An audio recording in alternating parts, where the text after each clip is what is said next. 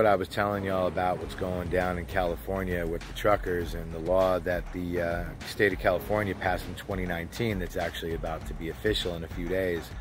Uh, this is going to raise prices for all of us, and uh, it's it's not going to make any of our lives easier, especially uh, truckers in California, independent contractors. Check it out. It's roll tape. Independent truckers bracing for a new state law that could put them out of business and make the supply chain problems even worse. Good evening. I'm Sara Donchey. And I'm Ryan Yamamoto. The U.S. Supreme Court declined to hear a challenge to the state's gig worker bill, throwing a wrench in the trucking industry that increasingly relies on independent truckers. AB 5, known as the gig worker bill, was passed back in 2019.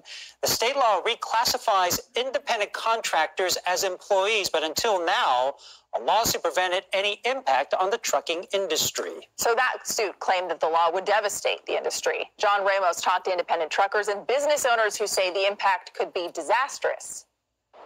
AB 5 was intended to give transport workers more workplace protections, but for truckers who own and operate their own rigs, it may be the end of the road, and that's going to affect all of us.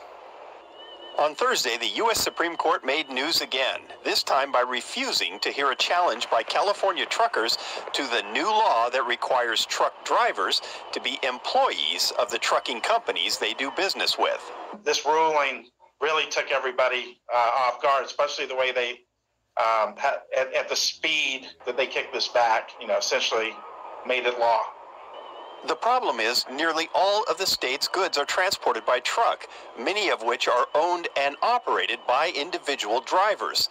That's especially the case at the Port of Oakland. There's 9,000 trucks that serve the port on a daily basis, and 90% of them are independent contractors. So this is a big, big impact. Bill Aboudi owns AB Trucking in Oakland. He employs his own drivers, but also uses independent contractors to handle overflow business, which just became illegal. Aboudi says he won't be able to use trucks owned by the drivers anymore. It just doesn't work. You own your own truck, it's your truck. I can't take possession of it and start using it. In a case like my company, we just eliminate owner operators and, and just reduce the, the workload. That's a disaster for Hedayatollah Abrahimi, who just bought his own truck a month ago. He, like other owner operators, spent tens of thousands of dollars to not be someone's employee.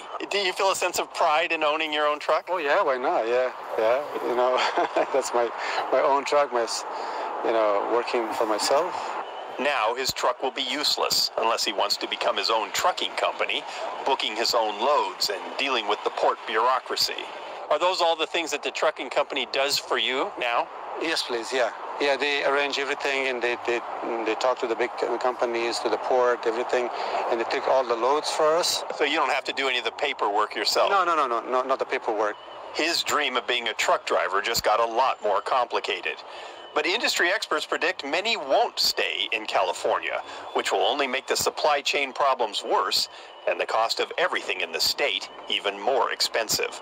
It's going to adversely affect everybody, and with inflation being as high as it is, this is going to put inflationary pressure on uh, consumer. In Oakland, John Ramos, KPIX 5. No one seems to know how the new law will be enforced or who will enforce it, but legally, it is supposed to go into effect in just a few days. Again, part of Agenda 21. I'm trying to tell y'all, please like and share and get this out there so people know what's going on. Please. Thank you.